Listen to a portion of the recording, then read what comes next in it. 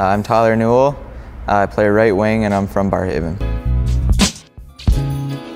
Um, my favorite pregame meal um, is probably pasta. Um, generally I like to tape my stick before the game and just, I don't know, I like to be loose before the game, not get too focused, so, or too serious rather. And yeah, I don't really do anything over and over before a game, it's just kind of you know, loose before the game, and yeah. I feel like my greatest strengths are probably my speed and my playmaking ability, being able to see the pass that some people may not be able to see and you know, be able to execute it. Um, I feel like being a small player, I'm not quite as aggressive as I should be sometimes, and you know, I probably need to get a little bigger so that I'm, you know, able to do better on the ice.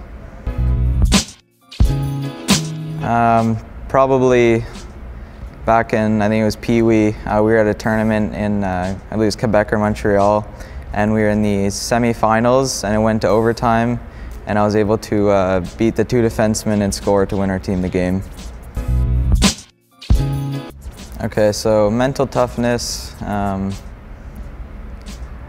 ah, it's hard to describe. Um, you know, not really giving up on your dream just because, you know, sometimes it can be difficult or it seems like it's not really reachable. It's just, you know, keep striving and keep putting the effort, even though it may not seem like it's paying off. Eventually, hopefully it will. So, yeah, just every day putting all the effort in and, uh, yeah.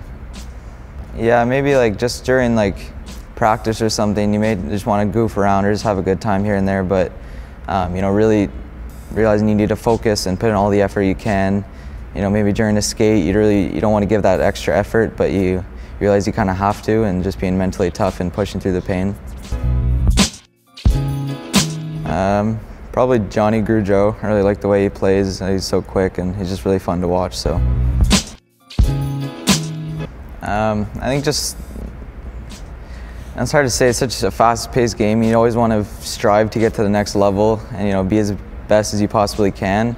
And just the vision of you know being at the top someday, it really it just gives you a lot of drive to put in the effort that you do and day in day out. Um, probably my dad because he grew up playing hockey just like I did, and um, he really made sure you know education's first before hockey. So I just think he's a good person to lean on because he went through similar situations as I did. Um, basically, I just want to improve my game, you know, get bigger, get stronger, um, and just become a better all-around player and try to make it to the next level.